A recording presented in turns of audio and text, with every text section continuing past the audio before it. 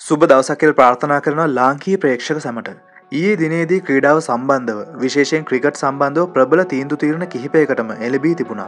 මෙහි මුලසන හොබෝනු ලැබුවේ ජනරජයේ ජනාධිපතිවරයා විසින්.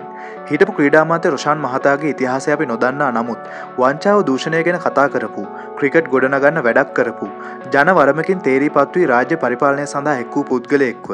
මෙසේ පන්නා දැමීම කෙතරම් දුරට සදාචාර සම්පන්නද කියන එක අවංකෝම ගැඹුරින් සිතියයුතු දෙයක්. හිටපු ක්‍රීඩා අමාත්‍යවරයාගේම වචනයෙන් කිව්වොත් අවසානයේදී හොරු දිනුම්.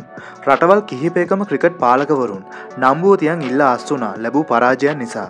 නමුත් ලැජ්ජාවක්වත් සුදුසුකමක්වත් නැති අපේ නිලධාරින් සාධාරණය වෙනුවෙන් කතාකර පුද්ගලයට හිනාවෙමින් තවමත් ඒ තනතුරුවලම රැඳී සිටිනවා. ඒ වගේම නව ක්‍රීඩාමාත්‍යවරයා ලෙස හරින් ප්‍රනන්දුව පත්කර තිබෙනවා. ක්‍රිකට් ක්‍රීඩාව තුළ වංචා දූෂණ රැසක් එලවීමට තිබූ මොහොතක දේශපාලික තට්ටු මාරුක්‍රමය යටතේ නැවතත් ඒ දේවල් යටගසුන් ලැබීම ලාංකීය ප්‍රේක්ෂකයකු ලෙස හිතර වේදනාගෙන දෙන කරුණක්.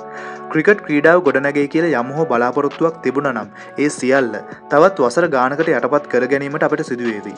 මේ ඇති වූ තත්ත්වයට නිහඬව සිටි රටේ ප්‍රවීණයන් රිජූ හෝ වක්්‍රාකාරව වග කිව යුතුමයි. ඒ වගේම එලබෙන ශ්‍රී ලංකා තරඟ සඳහා හිටපු නායක දශුන් ශානකෝම පත්කිරීමට සූදානම් බවට ක්‍රීඩා මාධ්‍යපිටු කිහිපයක්ම කරුණු දක්වා තිබුණා.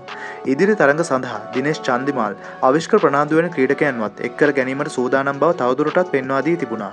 ඒ වගේම ටීටුවෙන්ට තරඟ සඳහා බානුක රාජපක්ෂව නැවතත් සලකා බැලීමට සූදානමක් ඇති බවට දක්වා තිබුණා. ඉදිරියේදී ඇති තරඟ සඳහා ක්‍රීඩාපිටු කිහිපයක්ම ශ්‍රී ලංකා සංචිතය නම් කර තිබුණේ මේ අයුරින්.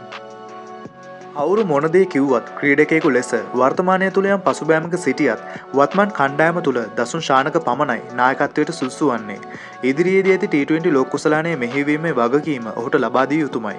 නමුත් T20 තරගරටාව තුළ ස්තිර කණ්ඩෑමක් සිටින මොහොතක චන්දිමාල් අවිශ්කමෙන ක්‍රීඩකින් නැවතත් කැඳවීම කෙතරම් දුරට සාධාරණයක් වෙයිද යන්න ප්‍රශ්නාර්ථයක්. බුද්ධිමත් තීරණවලට වඩා ඇපෙන් ගැලවෙන්න ජනප්‍රිය තීරණ ගන්න අපේ බෝඩ් එක මේවා නොකොළොත් තමයි පුදුමේ. හරියට මතීෂට කලා වගේ. බින්දුවටම වැටල තිබුණත් හැම මොහොතකම පොඩිහරි බලාපොරොත්තුවක් ක්‍රිකට් ගැන පිතුරු කරගන්නේ. මොකද අපි ඒ තරමටම ක්‍රිකට්වලට බැඳිල ඉන්න නිසා.